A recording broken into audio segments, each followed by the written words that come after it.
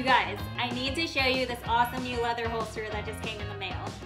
Isn't it gorgeous? These leather holsters are such a great storage solution for any of your UFO longs. They're even made from 100% upcycled leather, which means that the leather comes from byproducts, waste materials, or other useless and unwanted products.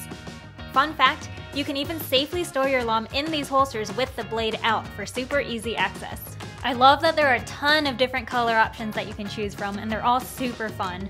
All of the color options are handmade by WireMonkey and they evolve over time so you can always find the perfect match for your LOM.